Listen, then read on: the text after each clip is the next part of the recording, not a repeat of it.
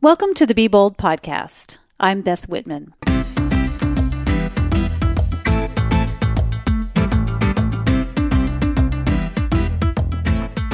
Hola, ¿cómo están? After nearly a month here in South America, my Spanish is just starting to improve. I won't bore you with any more, but uh, I am picking up little bits and pieces here and there, and I'm I'm proud of my progress. Now, listen to this.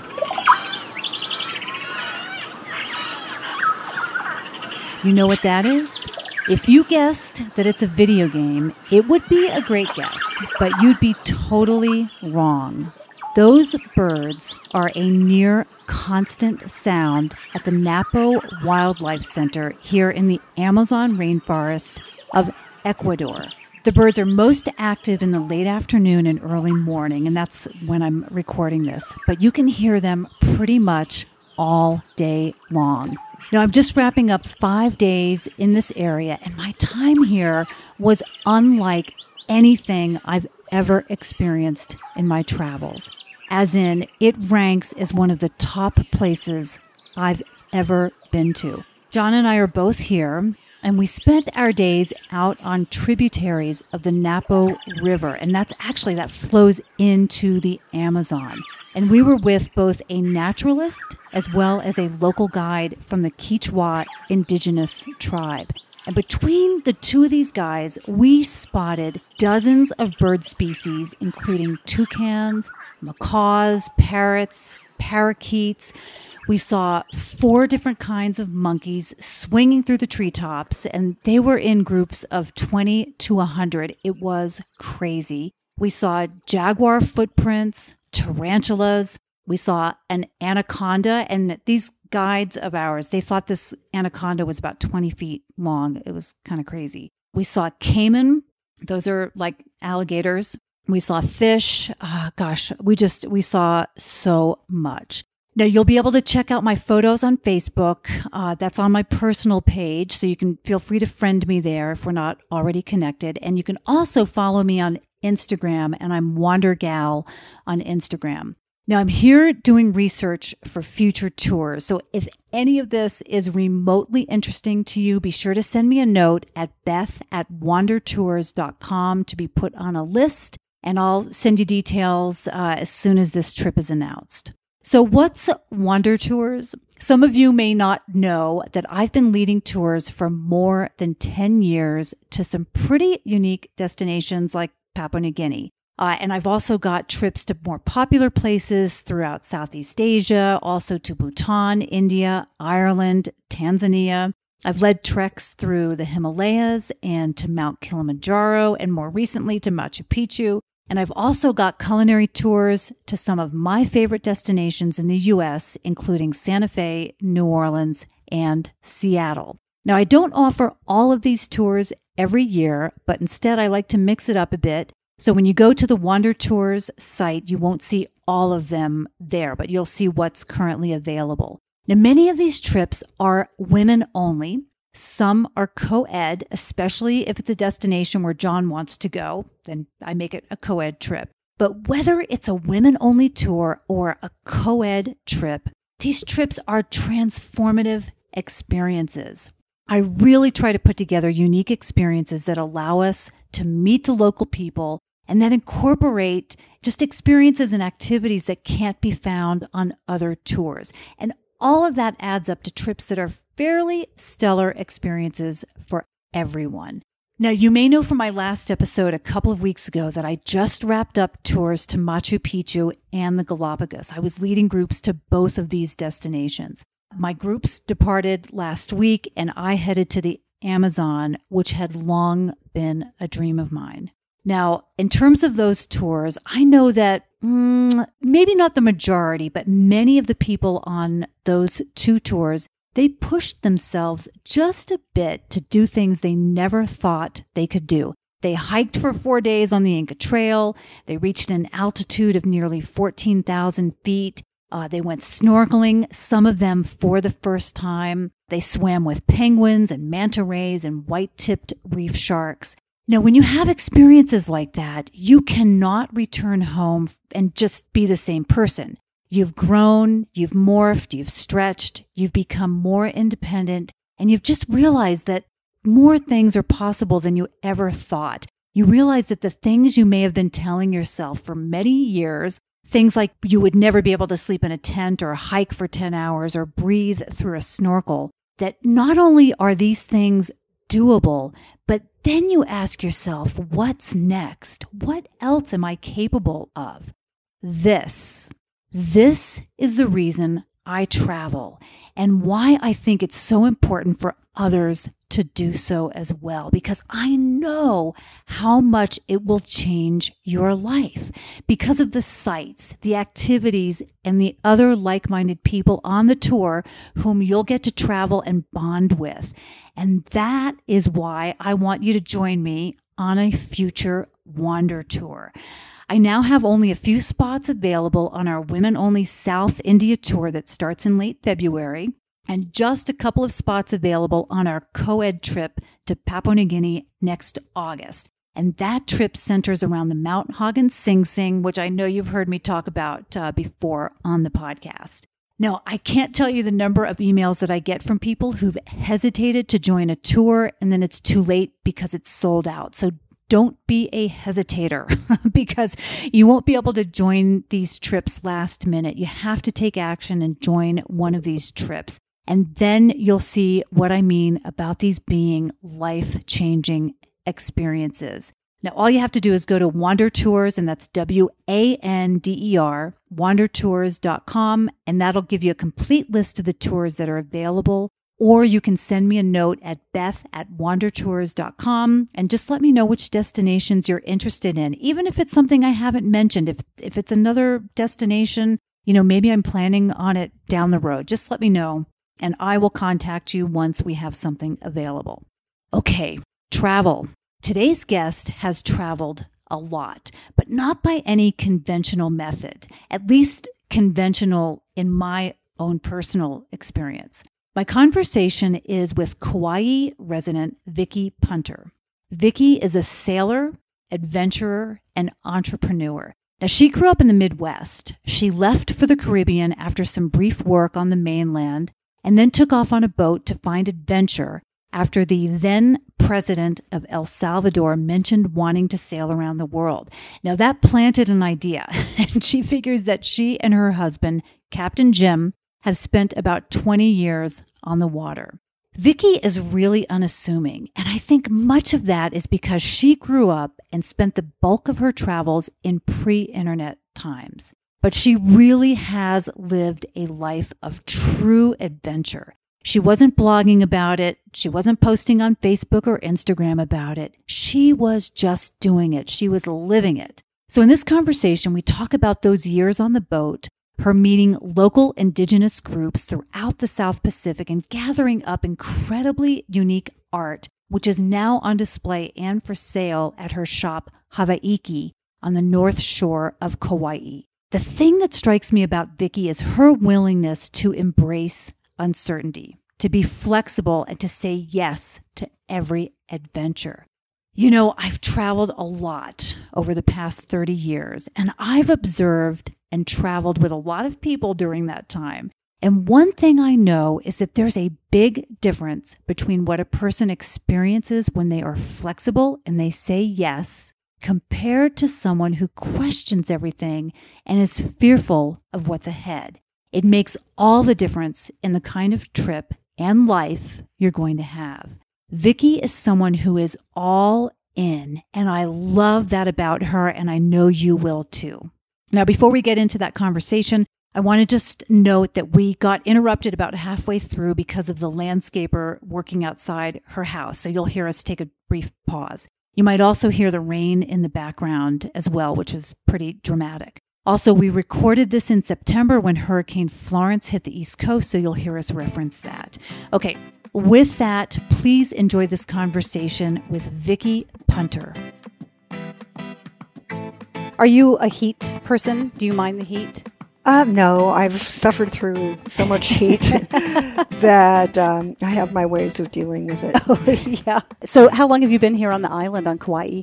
We arrived here in 2007 And we've lived here off and on since then. Mhm. And the off part of that has been because you've been off sailing somewhere. Is that right? Yes. Uh-huh. Yeah. Where was the last place that you traveled to? Um, the last place we lived on the boat was, I believe, in Fiji. Yes, where are my notes? We've lived so many different places. It's a, you know it's a good life when you have to look at notes to figure out where the last place was that uh, that you visited. Yeah. I often have that. I have to think, okay, what year is this? You know, what were the countries? And it's in a way, it's kind of sad, and it and I don't mean to gloss over it at all in terms of being forgetful or just glossing over or forgetting about a specific destination where I've been. But sometimes I do have to really give thought. What countries did I visit last year? What places did I go to? How, because I often get asked, how much of the time, how much of the year are you actually out of the country? And I have to give it some thought and kind of calculate. I should be ready with that, with that answer. I but I'm know. not. I ex- I know exactly how you feel. I've tried to come up with a simple way of telling people how much time I've lived on a boat. Mm-hmm. And my husband and I have had boats since we met 40 some years ago. And uh, at times we would only spend a few months during the summer on the boat. And then other times we actually had no home other than our boats. And then after we opened the gallery, we tried living ashore for a time and tried to buy some property and build a house and that didn't work out. So we got another boat. so it's just been ongoing. And I figured out that I've spent approximately almost 20 years living on a boat of various sorts. And have you loved it? Of course, you haven't loved every minute of it. But it, would you say I wouldn't have had it any other way? Yes, I would not have had it any other way. That's a good way to put it. Yeah. Yeah. To be honest, I had trepidations all along the way. However, what happened with me was my, I couldn't say no. I could not say, I don't want to go there, or I could not say, don't let this happen to us. I, it's not in my character. I've always said yes when an adventure or a new experience has presented itself to me. Is that because you have a level of, we're just going to dive right into things right now. Okay. is this because you have a level of guilt, as most women do, of saying no? Or is it because you are the adventurer and you thought, I'll be damned, I'm going to go do this? A little bit of both. I mean, uh, there are times when I have needed to say, whatever you think would be good for us, Jim, my captain, uh, because Your captain and husband. Yes, because I didn't want to stifle his need for his own adventures. Luckily, I've enjoyed all of them. They've been wonderful, and also it's a it's a yeah it's a guilt about not.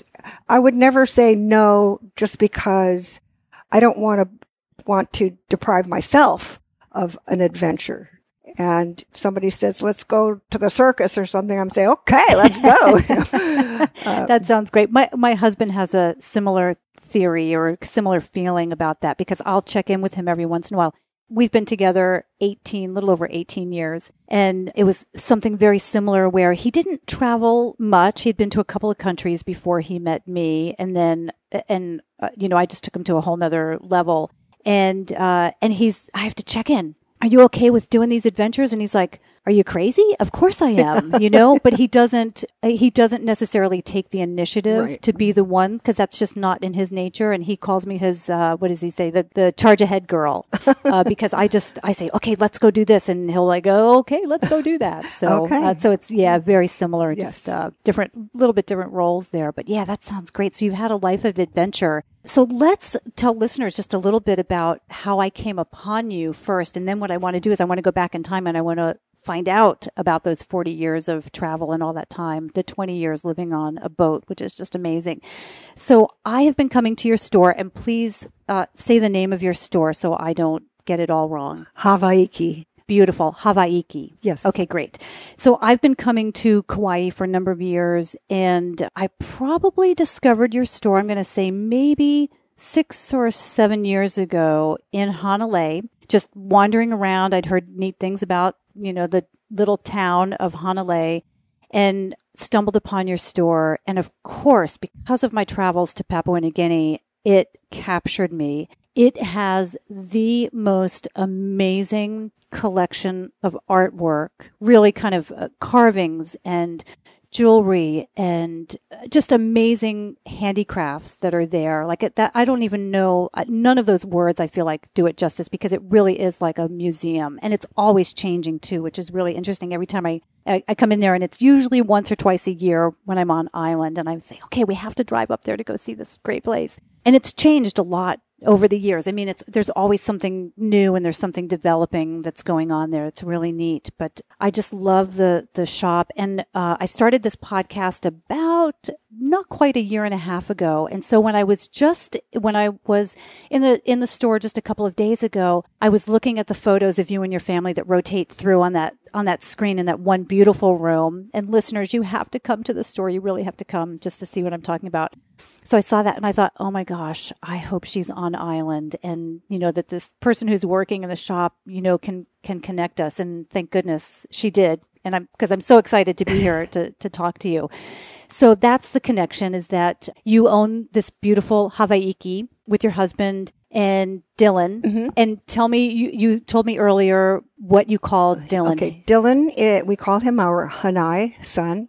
Hanai is a, a, a Hawaiian word and a tradition where a child or a younger per- person who's younger than you are starts living with you in a family way rather than with his own parents. And because we lived together on the boat for I guess it was only four years, but it seemed it, it just continued on after that as well. Your friendship and your relationship. Yes. yes. Mhm. Uh, so as I said, you know, we lived the three of us lived together on the boat as a family uh, for all those years and all those adventures. So when we thought we were finished cruising, we looked for a place to open a gallery because we had acquired too much stuff.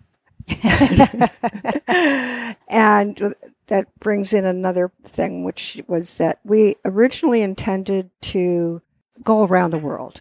We didn't know much about going around the world, but we knew a lot about sailing because we had been living in the Virgin Islands and in the Caribbean for decades. And what we discovered that we enjoyed the most was getting involved with the people in the countries by trading with them, particularly in the Solomon Islands, where we were overwhelmed by the diversity and skill of the carving, the carvers in an area called the Marovo Lagoon. And we had learned enough as we went along that we could trade by giving them goods partially and giving them cash partially. And we just, What kind of goods? well, fish hooks, clothes, batteries, Really basic necessities. necessities. Mm-hmm. Yeah, a lot of necessities. Medicine. Well, those we wouldn't trade. We would give those freely. But that's what we learned how to do, and that's what we learned that we loved the most. you mentioned that you had been living in the Caribbean for decades. Yes. What? Where did you grow up? I grew up in Illinois and Ohio. And after I spent a few years working in New York City, I went on a vacation down to uh, St. Thomas. And I was, fell in love with the islands. And I said, I got to live here. At that time, I was a computer programmer, systems analyst. And there was one, com- no, two computers on the island of St. Thomas. Was this in the seventies?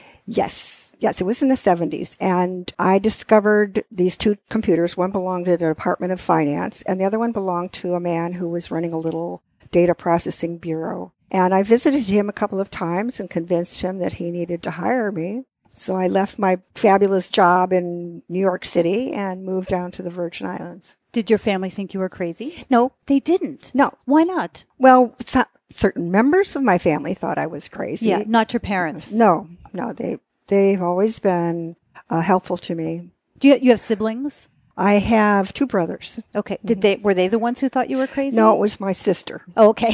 which I'm not. I'm not mentioning her. She said to me after one hurricane, she said, "Why do you even live down there?" in the Caribbean. yes, I mean because we'd had a hurricane, and I was begging her to help me. And but now everybody has hurricanes, and it's much more common. And in those days, hurricanes weren't on the news every night. Well, we didn't have news every night. we didn't have it 24 hours a day at least. Right. Yeah. We may have had the hurricanes. We just didn't hear about them. Exactly. In, uh, exactly. In as much. Do you keep in touch with your sister now? No. Uh, my two brothers, I keep in touch with them. Right, they, right now, they're in the middle of Hurricane Florence or, well, Tropical Storm Florence. Right. But not, Are they in the Carolinas? Yeah. Oh, gosh. Yeah. I've just seen photos. I was at the gym this morning and um, just seeing on the news, because I've been out of touch with the news, but just saw, saw the photos on the news the video is just really, really terrible. But you folks had a really big storm come through here earlier this year, right? It, it um, wiped out. Mm, oh, we had a really bad rain event here in Kauai. It was a rain bomb, and it is that is that really what it's called a rain? Uh, I, that was one of the things that the weather people talked about. It was not a tropical storm or a hurricane. It did a lot of damage to a very small portion of the island and we are just on the fringe of that area that was badly damaged. However, I've seen in the Virgin Islands, we experienced two major category four or five, I don't know what they are, hurricanes. One in 1989, it was Hurricane Hugo, which eventually came up to the, the shoreline of the east coast of the States. And that was a, a devastating storm. And then. Where were you living then? In St. Thomas. Okay and we lost our boat. It was um, it was uh, just not. It was there, and then it wasn't there anymore. It was up on the land and wrecked. And then 1995, there was another hurricane, Hurricane Marilyn, and that was even worse. And we lost that boat. Why again. ever would you live in such a place? exactly. exactly.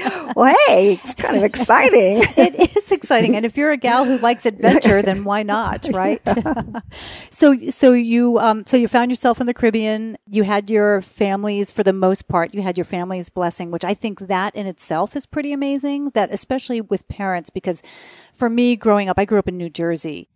And I'm sure my parents are both passed now, but I am sure that they had a number of technically not heart attacks, but with all the crazy stuff that I've done over the years when they were alive, there were, there was a lot of cause for concern. They never told me not to do anything, but I'm yeah, sure uh, in the uh-huh. background there was a lot of, you know, heart thumping going on. So I don't know. Is that, would, would you say that yes, I would, similar? Yes, I would say that's true. They once again never said anything about any adventure. They kept their lips zipped and allowed me to do whatever I chose to do. Mm-hmm. Yeah. So you took off, you moved to the Caribbean. Well, at first I moved to New York.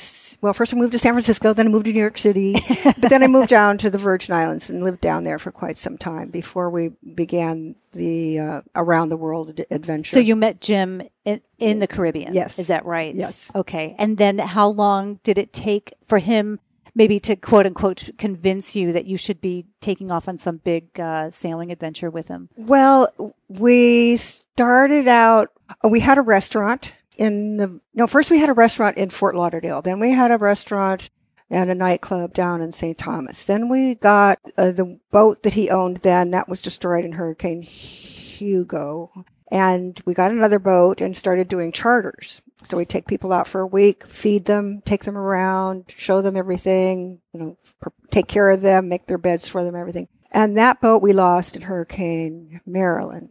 So then we got another one and was our loveliest boat. It was called Phantom. It was a motor yacht.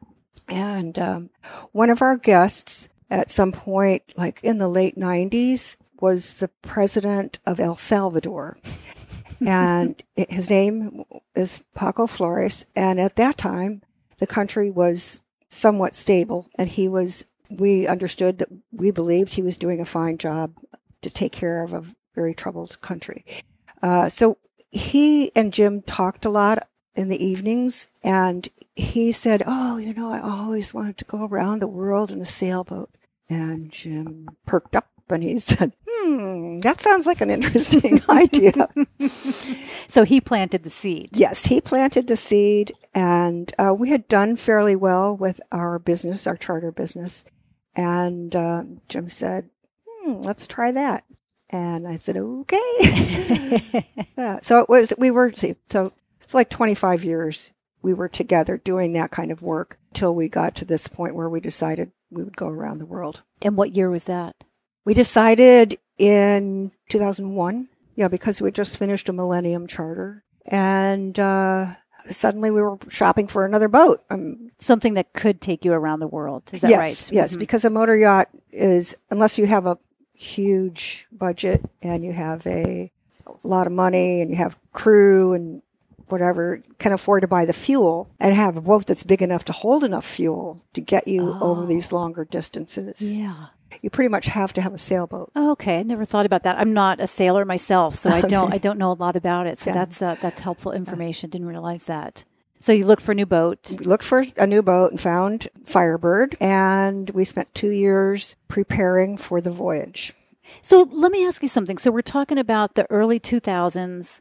We're talking about very early, really kind of internet. I mean, internet for the masses. I know internet was was around before that, but it really internet for the masses. That's around the time where I think we all became more familiar with it and had email and eh, you know everybody was kind of still getting up to speed and getting out of dial up.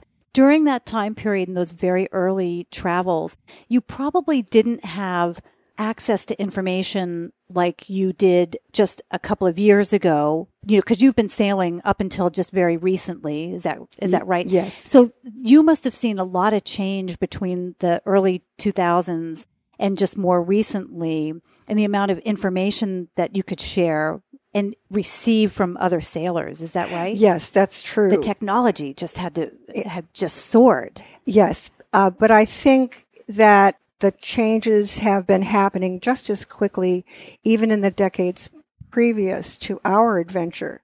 There are people who were out going around the world in the 60s and the 70s, and So with every decade, there was that much more information and GPS technology and all of that that that had just led up to that. Yes. Okay, so okay, so we we had enough technology to do what we did fairly safely. We did not have simple ways to communicate with people. There's a at that time, I'm not sure how people are doing it now out in the middle of the ocean, but we had to have a single sideband radio and a special modem, a backdoor modem, and we would be able to write text emails on the computer and then we'd be hooked up with the single sideband radio and we'd dial through to get a frequency from a uh, an operator. There are operators all over the world who offer their services to receive transmissions from boats in emergency situations No. or just for communication, for general communication. It's very limited. You can't spend the whole day using their uh, their antennas, but they receive the uh, communication that's been gone through this modem, and they then put it into their system, and it goes into the internet. So I would write every few months. I would write what I call my cruising notes, which I have here. And basically, I had maybe two or three dozen people that had asked me to keep them informed about what we were doing. And uh, I would summarize where we were, where we'd been, where what our current plans were, and things like that. So it's a basic blog, Yes, a very basic blog. very basic blog. So I didn't know. It was, I just called it my cruising notes. Yeah, of course, right, right. Because blogs, they, I don't, yeah, I guess there were blogs around at that point, but just for listeners, that might be a great way to think of it, though. yes. Mm-hmm.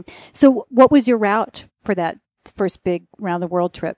Well, it, it took us four years to do all that we did. And we began, well, we were forced to leave the Virgin Islands because it was hurricane season again. And just a little anecdote we had been preparing for several years and we had had the commitment of a young man who was a South African. He had said that yes, he would go with us on the, as our crew member on the voyage. And by the time the two years had passed, he had gone through some difficulties with his fiance, and uh, he was no longer going to go with us, and we had no one. Uh, so Jim happened to be. Um, we finally got an offer on the boat that we still had, the big motor yacht, and Jim had gone back up to Florida to take care of the sale, and he was in the uh, bookstore, the what is it called Blue Water Books, and they have everything for that any sailor needs on in books and charts and gimmicks and gadgets, and so. Uh, he heard somebody speaking uh, in a conversation with someone else eh, with a South African accent. And we had had such great success with David, who was from South Africa, that uh, Jim just, you know, listened in for a little bit and then he interrupted, or after the man was finished, he said, You know, I heard you talking and I was just wondering, would you like to go around the world with us on your boat, on our boat? And he said, no, I've got my own boat. I've not my own boat, but I'm a captain of a vessel already myself.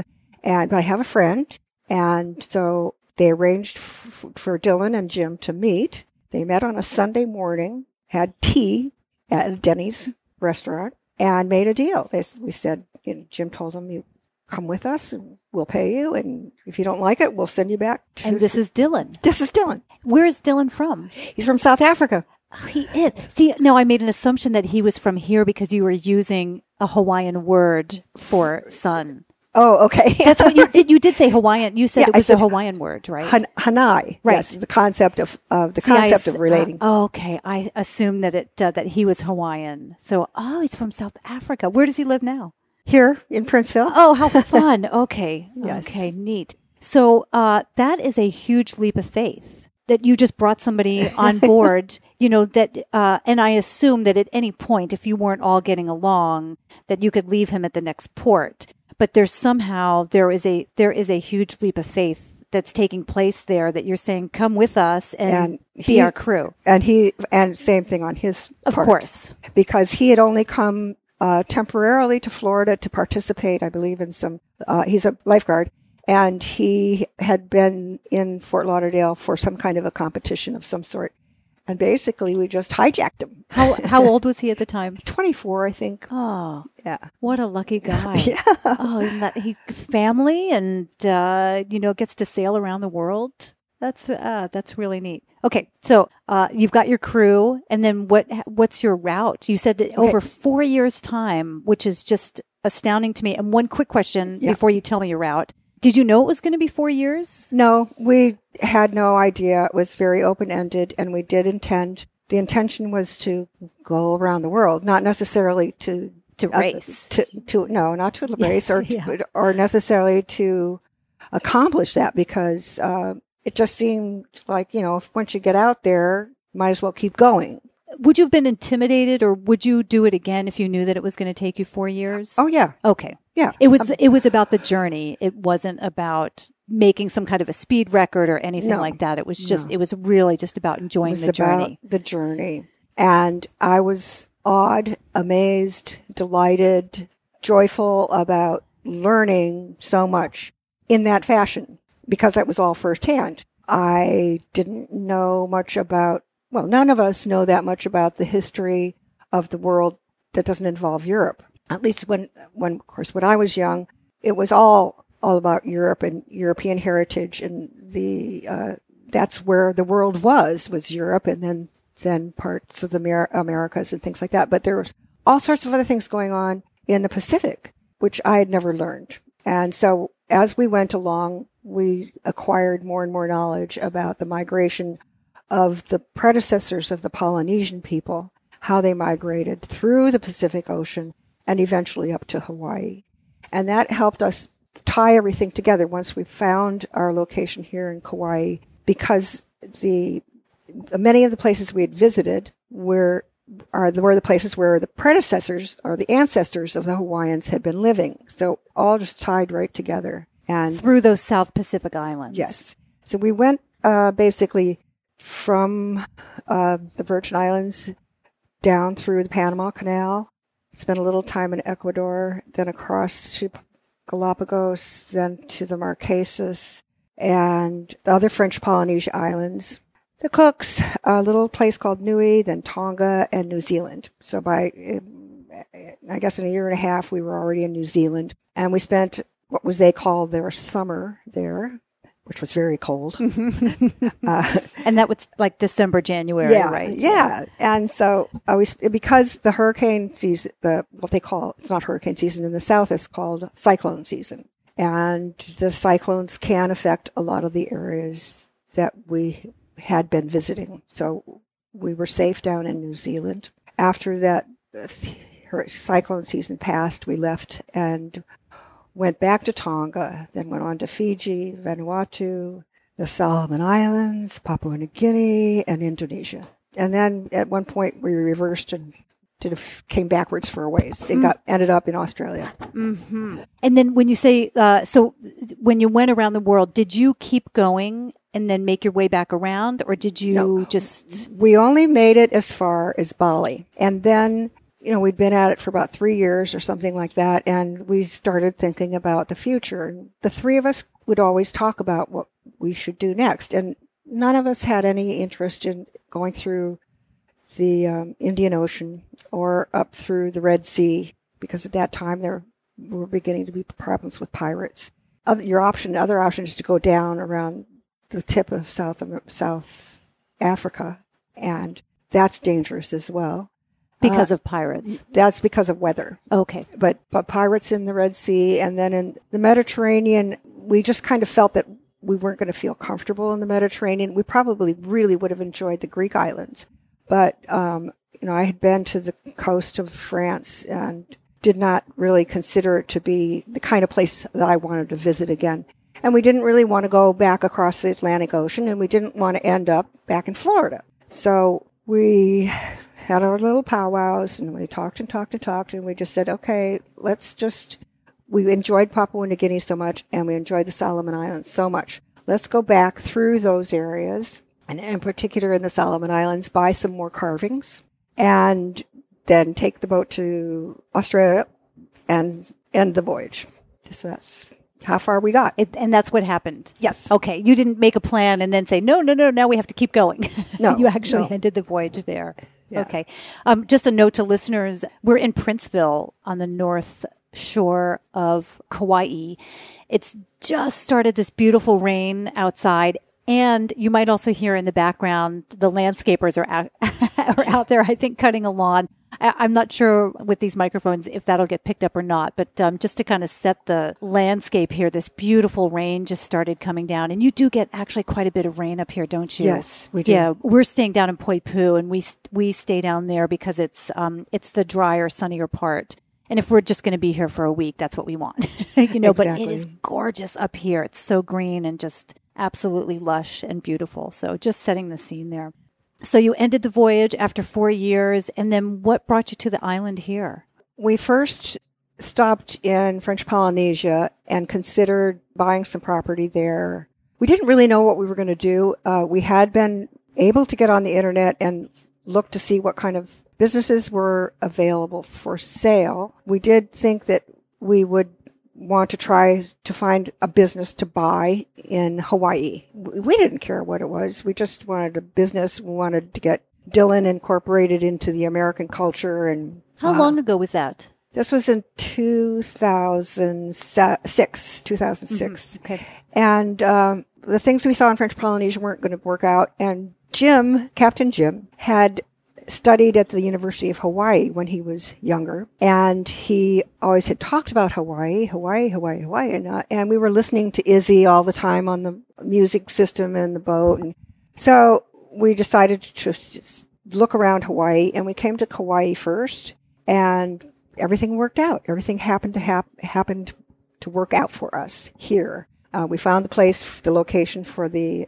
uh, gallery. We did look at some other businesses for sale that didn't seem quite exactly what we wanted. And so we thought, we'll go ahead with this idea that we had to just sell the stuff that we've already bought. How many pieces did you have or do you have, would you say, would to start that business? Oh my gosh. I think we probably started with a couple of hundred pieces. Where were they? Well, some of them were still on the boat, but others we had shipped back to California. And then when the boat was finally sold in Australia, all the things that were on board there were shipped here. Okay, because you had already set up a location here at least, or you had a place to ship them to. Yes. Okay. So, not everything, but there are items in your store. There's one item that's uh, $50,000. I took note of that. Okay. And I saw the beautiful, is it Cindy who works there? Uh, Sa- Sandy. Sandy, I'm sorry. Yes. So, uh, Sandy, who works there, we, we actually looked at the photograph. Um, we wanted to buy the photo of her. Oh, Um, yes. We wanted it in the smaller version of it, which you didn't have in stock. So I'll have to ask you after this if you've got another version of that. But we talked to her about that and she said, you know, that's me in that photo. And, and really it's the, the beautiful shell lei was the feature of that gorgeous black and white photograph. And then she pointed it out in the shop and it's, it's a $50,000 lei, which is amazing. But you have some carvings and some other very unique things in there that are really quite expensive. $8,500 for a, a carving a large statue I noticed. Now, again, um, for anybody who's stopping in there, just go because it's like a museum, but also not everything is that expensive. So there right. are more affordable pieces. And I'm wearing a necklace that from there too that I purchased a number of years ago. And it was not $8,500. much more affordable. But what gave you the confidence to think that you, the gumption to think that you could open a store and have these unique pieces of artwork and that they would sell and sustain the business oh, wow. because because really you're not in New York that could sustain very in general very high prices in terms of let's say artwork or very unique pieces yes. of work um, you're in a tiny little town and you're I wouldn't say you're quite just off the main street, yeah, but you're are. not mm-hmm. you're not super obvious. I think you're behind the shave ice yeah. place. you're just a little bit off the beaten path there. What gave you the gumption to think that that that that would work out because you're in business 11 years later and when I went in there a couple of days ago, I've never seen so many people oh, in the I store know. and they were all picking up tiki, beautiful wooden, you know, carved tikis and uh, just really beautiful statues and all sorts of things. And it was just the traffic was just amazing. So what what I, made you think well, that was possible? I believe that it was more of Captain Jim's confidence. He had operated several businesses in St. Thomas in years before I even met him. Uh, he had a place, a couple of um, tourist attractions, a tramway, a place called Mountaintop, where there were varieties of kiosks with interesting things for sale. So he had a little bit of a background in that already. We had no idea if it would work or not. We did sign a lease and got to work really hard and it the business has grown tremendously since our first early years. Our, our first early years were very hard. very hard. Well, you've expanded what your what your offerings are, and I imagine that that has helped. Well, yes, what we have done, uh, what we did was to continue with the connection between the countries that we had visited and connect them to the Hawaiian culture. Uh, and that's been very joyful for us. It's been uh, quite a delight to learn more ourselves about the Hawaiian culture.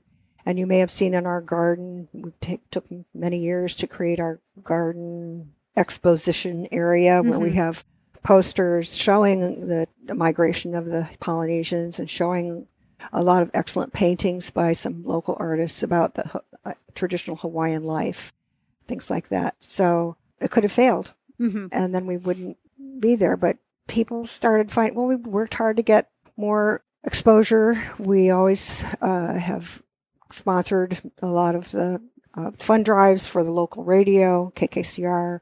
Uh, we've had done a lot of advertising. And Dylan, of course, is a, a great spokesperson because he's got so much charisma. Anybody that comes in, they want to come back just to see him. and he's probably got a delightful accent, yes. which always helps. Yes, yeah. Uh, but we also found that we, you know, people would come in and look around, and they, and we'd always try to put as much information on little tags as we could because we can't be there with every person who comes in so we can explain what each thing is. So people would come in, they'd look around, they'd, uh, they'd, oh my gosh, it's like a museum. It's like a museum.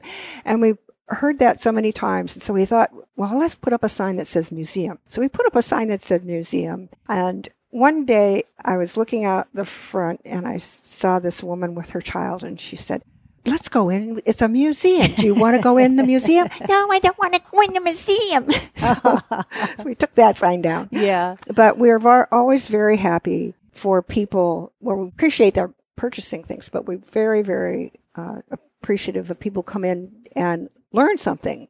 And we always encourage people to stay as long as they want to. You don't have to buy anything. Just, you know, and let us know if they have any questions.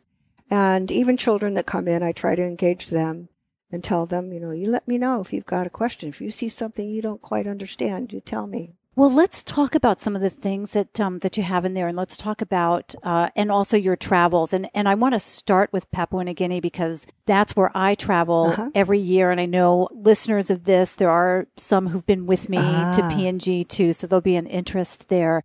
I know that a number of your items are from the Sepik River area. Yes. Uh-huh. And then also you've got some items from West Papua. Yes. As well. Um, had you, have you traveled to West Papua yourself? No. We, okay. Well, we did stop in Manokwari, which is up at the top near the bird's head mm-hmm. portion. And most of our interest in that part of Indonesia, because that half of the island is Indonesian, is because we uh, spent a lot of time in Indonesia. And one of our sources has been um, here comes the lawnmower has been uh, going to Bali, where there are numerous shops that gather interesting items from all different parts of Indonesia. Okay, for listeners, we had to take a little break there because the lawnmower guy was just a little bit too loud. We couldn't, we could barely hear each other over each other when we took our headphones off. So we're going to dive back in here again. And we, we were talking about Papua New Guinea. We were talking about West Papua and all the amazing things that you have in there. What I'd love to do is just, I'd love to hear some stories about your travels in that area because I imagine that you're seeing things because you're you're just dropping in in a boat into regions where travelers normally don't go.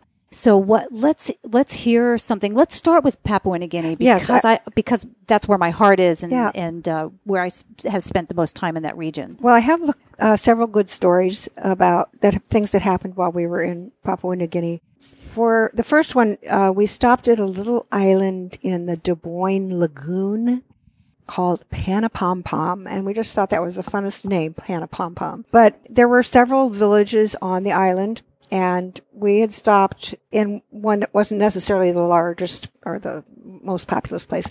Anyway, we pulled in, we anchored, and there were a few uh, houses there.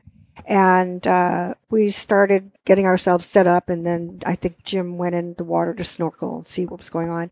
And uh, a young woman came out and told us that this area was currently under taboo. In order to regenerate the creatures that would normally live there You were not allowed to do any take any take anything from the water there. And she was very polite about it.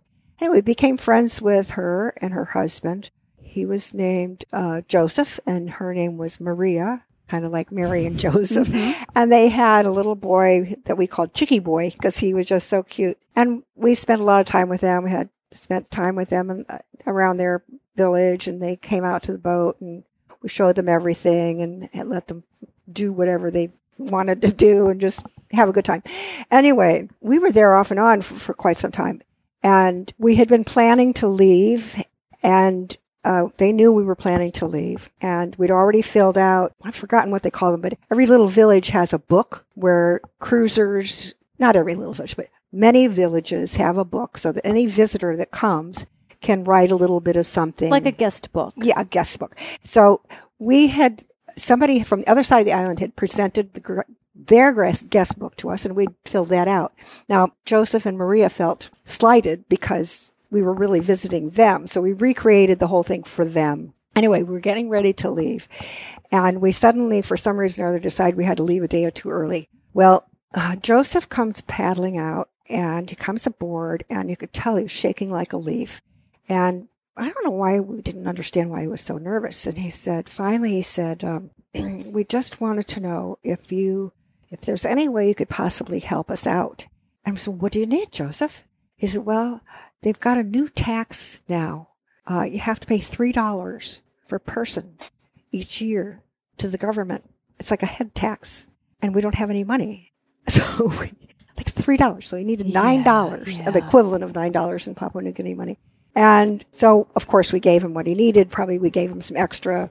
And uh, and then the, just the next morning, just before we were leaving, they came out to the boat and gave us a little chicken that they had been their little chicken, but now it was supposed to be our dinner they had take killed their little chicken to give us. It was a oh, scrawny little chicken. It was Oh. like it just was. You know, it's just the pure heart, everything through through all of that kind of thing. right. So that was a fun story. When so little means so much Yeah. to them, isn't that crazy? well, that's what was so exciting about being there because we had stuff and we had the ability to buy things or to trade for things and to see that and it gave us a feeling of being well we were like celebrities because everywhere we went people were surrounding us because we were somebody special to them. and it was so unique yes too that you were there. Did you ever feel because really and I and I'm pretty open talking about this. PNG is not one of the safest places on the planet. Did you ever feel and I know it's different on the islands than it is on the interior kind of the mainland eh, if you will. Did you ever feel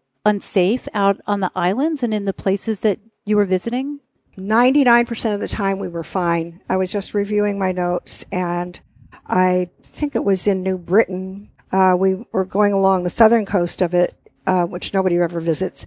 And we ran into some unruly village situations and people would just take help take things off of our boat, like our, our fishing rods that we keep prepared for cruising and While fishing. you were on the boat Yes. or when you left yes, the boat? Yes. And uh, we had to do a lot of negotiating with the local village chiefs and stuff and trying to get other people to help us to get our things back. But that, that was, was so rare and it wasn't, Did you ever feel threatened? no, no. It was just more you have this, I want that, and Yeah. I'm gonna Yeah. I'm gonna take it. Yeah. Yeah. Well, also even in the Solomon Islands, for example, we well, I remember one island that we visited. Um, we had left the dinghy at the beach and gone off to hear the children play panpipes for us. It was so beautiful and delightful. Well, some of the other children were delighted to discover our dinghy, and so they were having fun with it. They were playing in it, and they had, I think they had taken out some of the life jackets and. So in essence, the, the life jackets went missing, but they weren't really, they didn't really steal them. They just, They know, got misplaced. they, they didn't, they don't live in a, a world where this is mine and this is not yours. You know, they just, you know, everybody is kind of sharing what they have. Yeah, I had a guide on one of my trips to PNG when we were on a bus, and he made a comment about he was trying to understand cultural differences between the PNG people and between Americans, which most of my tour participants are American, and then there was another another group from an, from another country that he was dealing with, and I can't remember if it was Japanese or it was it was someone else, and he was just saying, can, you know, can you help me understand this? when we have food, when we have something and we're on a bus, we share it with everyone. It's just a natural thing where everybody gets it. But uh, let's say your group or this other group, when they had something, they held on to it. Did they not want us to touch it? Was that the problem? And I thought, no, but I can see how they were, they, that they felt insulted because they were thinking, well, gosh, they just don't want us to touch maybe their bag of cookies. But it's because when we have food, you know, we have our small bag of peanuts and we eat our peanuts and we don't necessarily share them. But when they have something, it just gets shared. And I have discovered that if I have a bag of something and I hand it to the driver to share or I hand it to one of our guides, I have to fully expect that it's going to disappear and I'm never going to see it again. So I, I either have to dole it out, give them, would you like a Yes, couple, you know, or, or just realize that it may disappear and I, I and I may never see it again. And it's just kind of an interesting, um, an interesting perspective because it's just everything is shared and it's not that it's community property. It's all community property. Yes, yes. well, especially in the many villages we visited, there's no outside influence. Like if something goes missing, you know somebody else is in the village has got it. It's not like uh, it's, You can't get very far no, you with can't it. get very far. no, you can't. No. So uh, let's see. Another one of our little stories was let's see. This one is about Dylan. We had found another little island that we loved. It was in the Hermit Islands, and it was uh, That's the Hermit Islands are also part of PNG. Yes. It's a, that's an area that I'm not familiar with, but it's on the east coast, correct? it's actually kind of northeast of Wewak. oh, it is. Okay. Yeah, yeah. Um, and we had been to a lot of the other islands, and we went to this area called the Hermit Islands and stopped at this one called Luf Island. And we stayed there for quite some time. I think we might have even been there for Christmas. And the the people there were just so incredibly charming, and a lot of fun things happened. But they were they were all competing and having getting ready for Christmas, and they were creating something special to eat or something like that, and then so some of the ladies would handwrite these long letters saying, uh, "Oh, if you would so kindly, if it would be possible, could I? Would you have any cheese that I could use to make this one dish that I'm having? But don't worry if you don't have it or you can't spare it." But so you know, just kind of like a, it was kind of a, a very sharing thing. But the story about Dylan Dylan made, well, we all made good friends with another family. It was a couple with uh, several small children. And the father had a canoe, a paddling canoe. And Dylan decided, well, what he did is he wanted to paddle, he wanted to sail from one island to the next one. And he knew he needed a sail. So he basically, he rented the boat from our friend and together they built, all of us helped, we built a sail for the boat, but it was just a little canoe, you know, mm-hmm. about a foot, mm-hmm. foot worth of high freeboard there. And um, the weather had been spectacular. And he planned to set off in the evening and paddle across the lagoon and out into the open channel and continue on to an island where we're planning to meet. And my Captain Jim and I were to follow, leaving the following morning and going in the same direction and meet up with him at the island. And Dylan, Jim said to Dylan before he left, he said, be sure to tie down your coconuts because part of what he was taking with him were some drinking coconuts. Mm-hmm. And uh, so Dylan hadn't really spent the proper time experimenting with this vessel that he had created. And he got started out there and he discovered it didn't steer very well, but he persevered and he off, went off into the starry night and just, uh, you know, it's just going to be a beautiful thing. And after a few hours, apparently the weather changed and he was having, I guess he had already gotten out of the lagoon and was in the channel, and he was having a lot of trouble. Too much, taking too much water on board. And he, a couple of times, he just about sank. He had lost his coconuts because he didn't tie his coconuts down. and he managed to, you know, stay afloat and, and get, you know, times that he capsized or whatever, he got back in the boat. And, you know, he was in dire straits. And he managed to figure out he's going to have to stop proceeding that way and try to get back to where he was on one of the little hermit islands. And he did. He just barely made it ashore. And it was in the middle of the night. And he woke up in the morning, bug bitten and thirsty and crazy. And he actually saw us pass by. we were on our way to go see him at the other island. And he is waving, yelling, screaming. And did you see him? No, oh. we didn't see him. Uh, when you're on a boat, uh, you can't you can't see a person. You know, no, forty feet away, they, you could overlook them. So we went on to the other island uh, where we were supposed to meet him, and we kept asking everybody, "Have you seen Dylan? Have you seen Dylan? What? What? What? What?"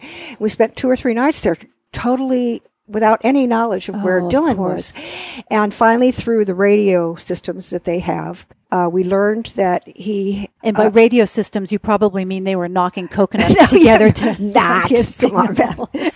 they um, they had I don't know if they used single sideband radios there or something like that, similar with a community, and they had just finally learned. For, for they had been asking people that they knew, and they finally discovered that Dylan had was safe.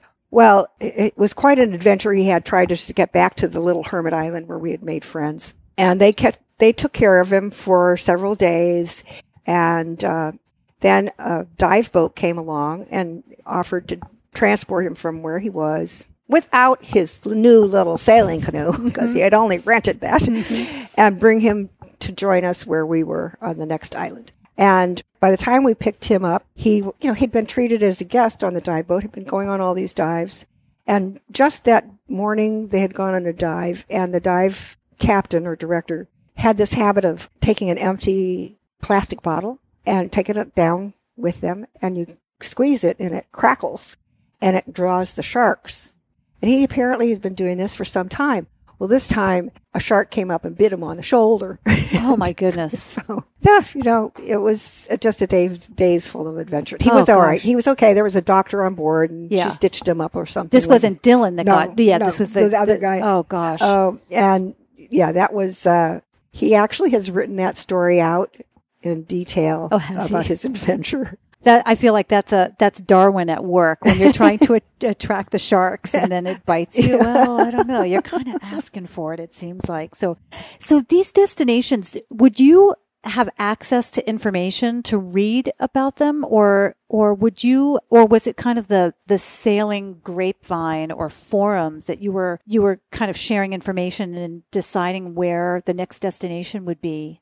There was a friend of ours that spent several days with us before we left who had been traveling in that area and who kept in touch with us by email. And he would tell us all these great places to go. He said, you got to go to the San Blas Islands or you got to go here. You got to f- look for so and so, Peter Mipo and uh, such and such. And we actually did meet some of his friends. But a lot of it was uh, when you're sharing information when you are in a place where there are other cruisers, you're just always talking, talking, talking. But it was mostly just exploring. We had enough information about weather and we had enough, we had chart plotters, which are like GPSs that everybody has today. But in those days, it was, it, there aren't any roads out there, but at least you can find out where the land is supposedly is and mm-hmm. where you supposedly are. And we used that to chart our way and went wherever the next place looked like might be a good place to go. Do you find it really strange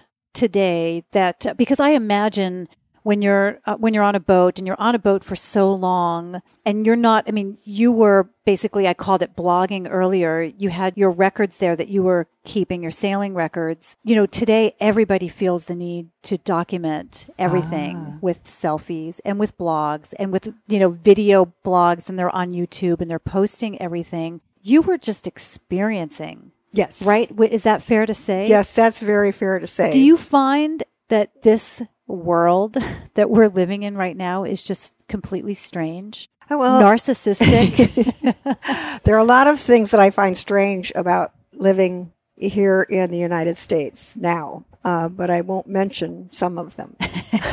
uh, and you know, we're seventy in our seventies now, and we're not in, surrounded by the culture that's doing all this blogging and selfie things. And you know, although we see the tourists that come into our gallery, they're snapping photos and taking pictures of themselves outside. So we're not really exposed to it. We're kind of lost in some of our efforts to try to manage our iPads because we're we're out of it. you know. yeah, yeah. But yes, um, I'm still trying to manage my iPad, by the way. So just like just to put it into perspective. uh, I don't know if it's good or not.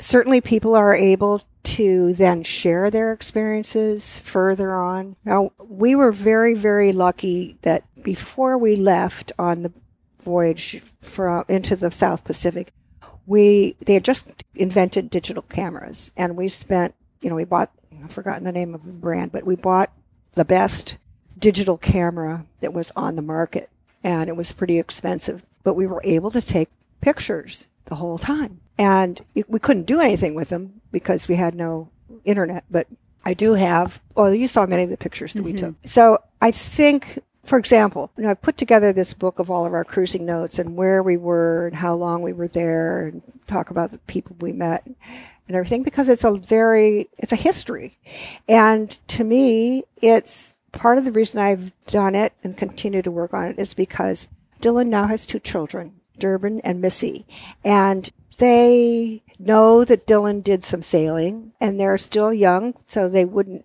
have the, the atten- intention span to read the whole book. But at some point, this is the story of where their father went. Mm-hmm. Yeah, so I'm pretty happy about that. Yeah, that is nice. There's a movie, I don't know how recent it is. I actually saw it being advertised on the Delta flight on the way here. One of the movies that was available was about the young girl who sailed around the world. Do you know that? I don't know that movie, no, Okay. but I know, I think I know about the girl. Yeah, there's I think there's been a couple of them who've attempted it. One I think got into a very bad situation if I'm if I'm recollecting it properly. But there was another one I think who was successful. What do you think about I don't know if she was 12 or like really really young. What do you think about that? I think that without knowing the girl myself, uh, it's hard to imagine that a person that young could have enough experience. And yes, there are a lot of fail-safe things to outfit your boat with. Uh, you know, you've got an EPIRB if things all really go bad. Uh, so Is that an, that's an emergency? yeah, it's an emergency. Uh, it's registered, and so you put out a it puts out a signal, Mm-hmm. uh, distress signal, and so somebody should be able to locate you. But there are oceans out there that are so huge, and there's nobody any, anywhere near you. you. You know, even if people get the signal and know you're somewhere out there, It's still hard to identify. uh, help is not within reach. You cannot fly. I suppose you could try, but no, you can't do that. You can't f- fly to that location. You have to go by boat. Boats don't go very fast. They do not go very fast. We were happy if we were going maybe 10 miles an hour. It's like, oh, what a good day we made. We went 200 miles. you have made progress. Yeah. Yeah, but I think that that's astounding. And I'm not sure that I would have agreed if she were my child. Yeah, yeah. You seem to have lived a, a very, uh, fairly at least, I would say, bold life. Would you say that? Yes, yes. What what what makes you you're you're very quick to agree to that? You feel like things that you've done are, have been bold. Well, yes, because you have to understand that part of my uh, psyche has constantly compared myself to the other women in my age group. And yeah, in the beginning, I was a career woman. I you know was living and working in New York City, but then I, I started adventuring, and uh, I never had children.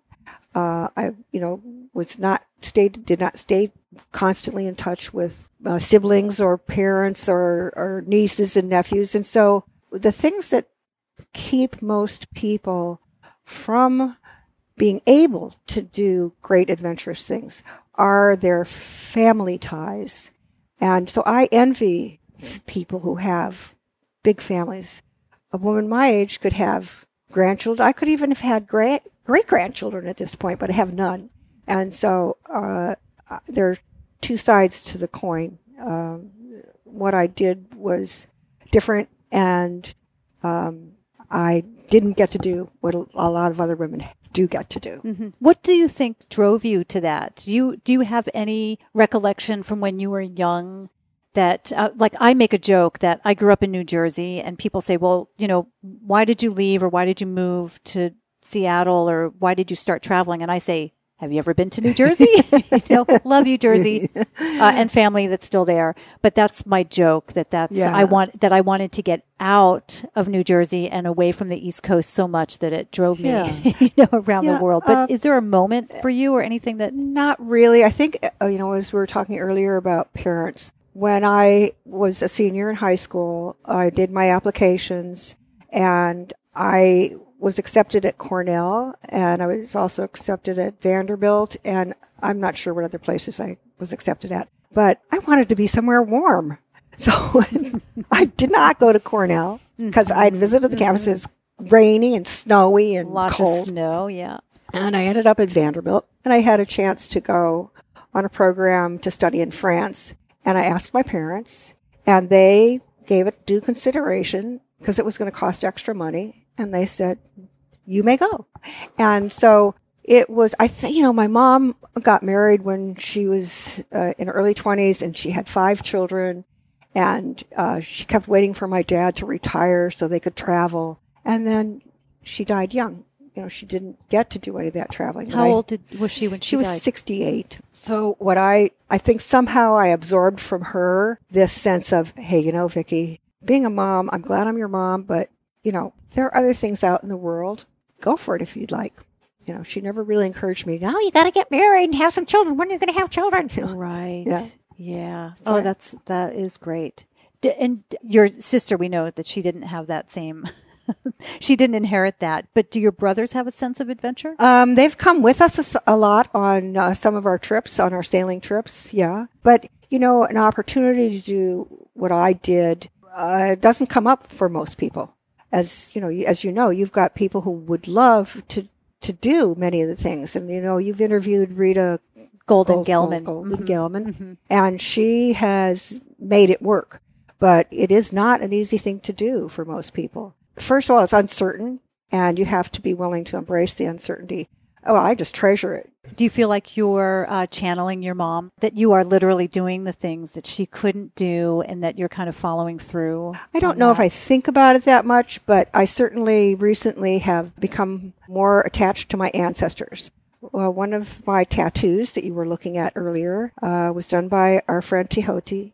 And this time when he was visiting, he was very focused on ancestors. Well, he always has been. You know, I've never really thought about my ancestors. I knew a little bit, blah blah blah, blah but he made me made me understand that it's important to revere and and understand your ancestors so that you know who you are. And one of the symbols of a communication with you and your ancestors or the spirit world is turtles because turtles live in both worlds. They live in the water and they live on the land. So in the center of the tattoo, there's a little tiny turtle there. And so um, I have been exploring my ancestors.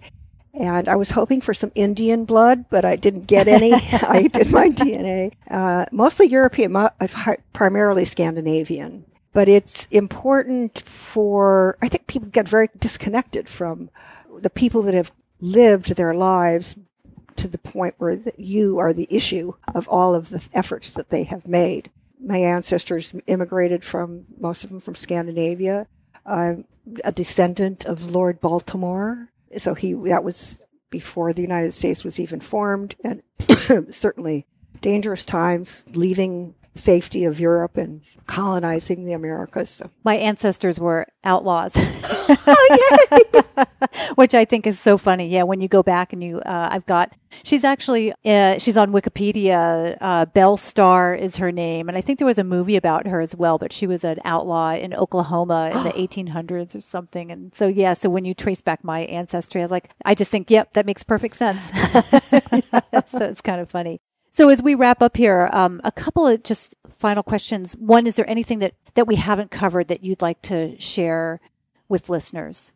I would encourage everyone, especially all of my lady friends and all of your lady friends, never say no. Just go for it. I mean, I met a woman last summer when we were staying in Ojai and she was, had lost her husband a long time before and her son had finally started going to, to, to uh, university. And she, asked me a lot of questions and I told her, you know, I'd just been to Europe. I had been to Europe for about four months. And I said, Carolyn, when you go out there, you, you know, you can't just go and like think you're going to, you know, explore, you know, Italy and understand what you, what you're doing. You've got to choose something that interests you. Is it fabrics? Is it color? Is it food? Is it language. You have to choose one thing to focus on because we went to Europe for, for four months and we were all over the place. We were discovering things that were very, very interesting, but we didn't have a focus. Mm-hmm. So if we go again, or any of you ladies want to go traveling, choose something that's part of your dream. Right. I, I specifically talk about that when going to India because it's so full on. There's mm. just so much there. Like, where do you even start? But if you can have one thing like textiles or jewelry clothing, whatever it is that uh, that you can focus on, then that helps kind of narrow it down quite a bit. So yeah.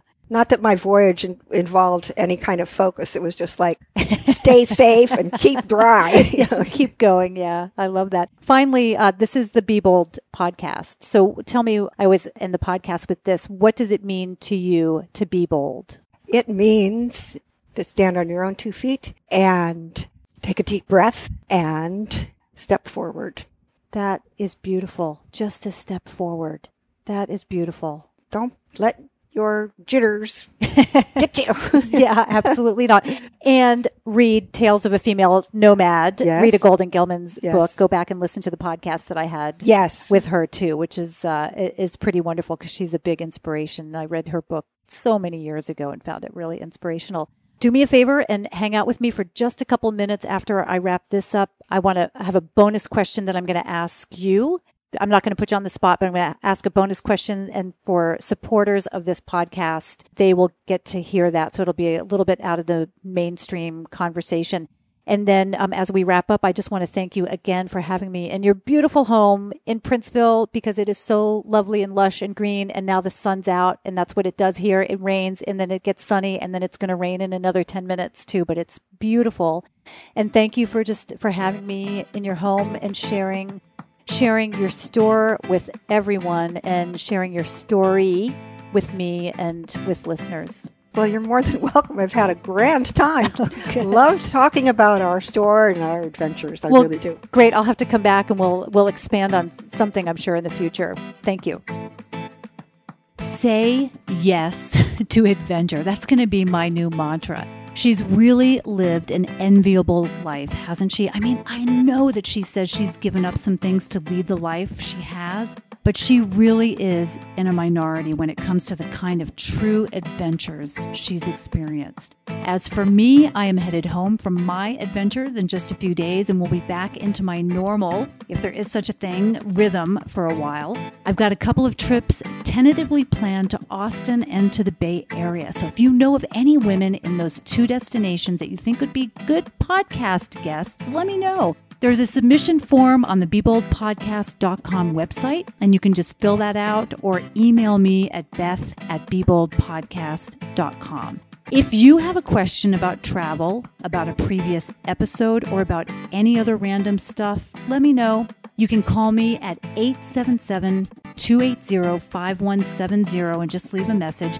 I've been having a lot of fun answering your questions and would love to do more of those. So please give me a call. I, I may just feature you on a future episode.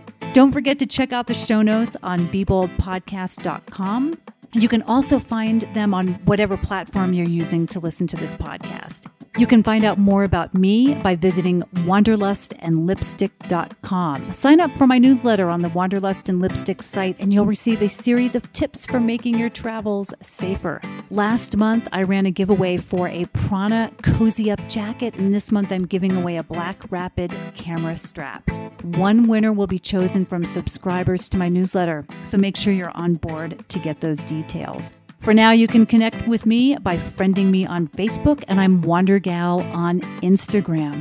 I know you're now thinking of joining me for a future tour, so don't forget to check out wandertours.com. Check out the South India tour uh, early next year or the Papua New Guinea trip in August.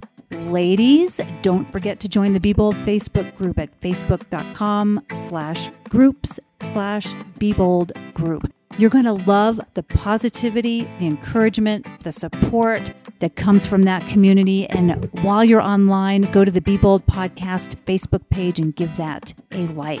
Thanks for joining me for another episode of the Be Bold Podcast. Until next time, be bold.